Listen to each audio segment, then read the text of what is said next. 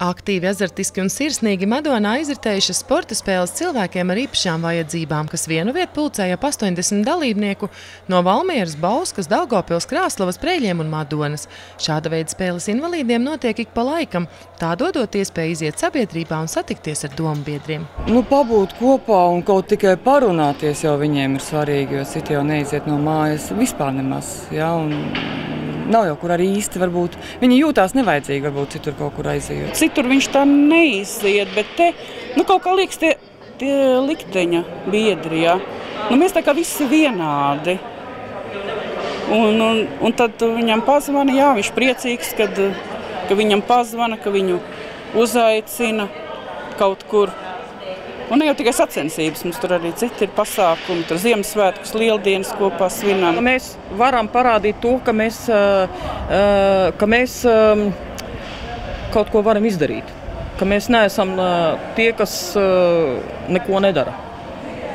Tāpat arī braucam uz citām sacensībām, gan Rīgā, gan arī paši rīkojam sacensības. Šoreiz sacensību organizatoru lomā madonieši, kas nu pat novembrī dibinājuši jaunu organizāciju biedrību Madonas invalīdi un jau apņēmības pilni turpina saulaik iesāktās tradīcijas un meklē jaunas iespējas. Sarosījāmies, uztaisījām jaunu biedrību Madonas invalīdus un nolēmām, ka vajag Madonā tādu pasākumu, jo atsaucība vienkārši grandioza.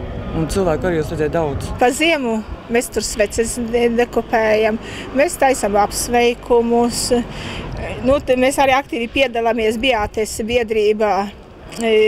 Mazā lasītava, invalīdiet piedalās. Mums ir regulāri dzimšanas dienu, vārda dienu atzīmēšana. Tad mēs atzīmējam lieldienas, Ziemassvētkus, invalīdu dienas.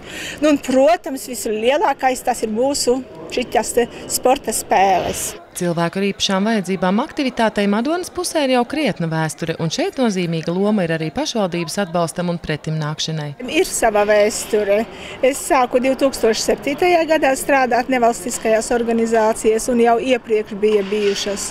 Es domāju, gadi varbūt kādi 20 jau ir. Nu, un tā katru gadu mēs turpinām.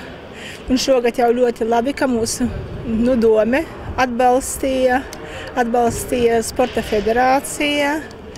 Un arī dalībnieki katru gadu no kaut kāda cita rajona jauni pienāk. Mums visiem ir uzdevums palīdzēt šiem cilvēkiem justies līdztiesīgiem kā sabiedrības locekļiem starp visiem. Un, uh, mēs darām ļoti svētīgu darbu, ceļš tie, kas šo pasākumu organizē un, un, un aicina cilvēkiem aktīviem būt.